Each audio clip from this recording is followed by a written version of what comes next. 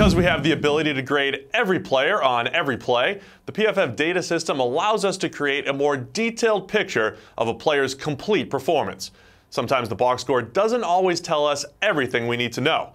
For example, the box score doesn't tell us about the plays the quarterback fails to make or how the defense may fail to capitalize off a QB's costly mistakes.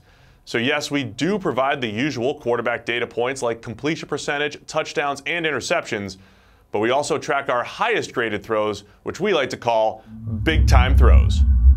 So what is a big time throw? It's a downfield throw or a pass into a tighter window.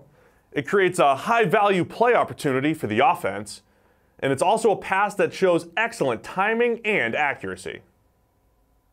For example, when a QB attacks the defense downfield with a high level of accuracy, he has completed a big time throw. We often say that a great throw beats great coverage, and big time throws do just that. When coverage seems almost certain, a quarterback's laser like pass can be completed by making a big time throw into a very small window.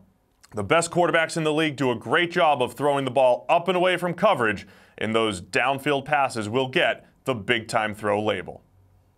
One example of a BTT is when the QB will use anticipation during the early phase of the play to lead his receiver away from tight coverage and into an open area. The combination of anticipation and accuracy makes this a big time throw from Philip Rivers. Here, the QB will dare to challenge the defense despite its intent to align in double coverage on the intended receiver.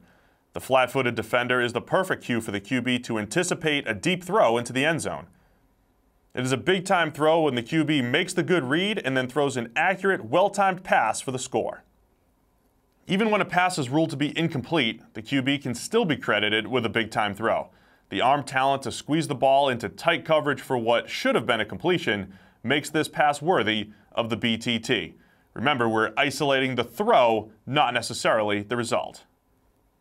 A quarterback's ability to escape pressure and maintain his vision downfield to complete an accurate pass while under duress is also considered to be a big time throw.